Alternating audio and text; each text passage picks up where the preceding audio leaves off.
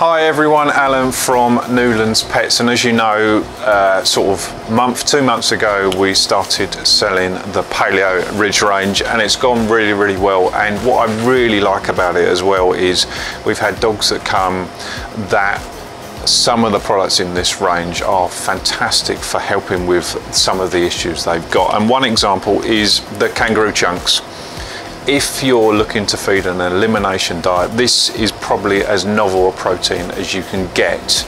And what I mean by novel is it's one that your dog possibly hasn't had before. They've had chicken, beef, turkey, duck, etc. Kangaroo, they probably haven't. It's part of the DIY range, so you'd need to mix in other stuff with that, and we can obviously help you with working out what that would be.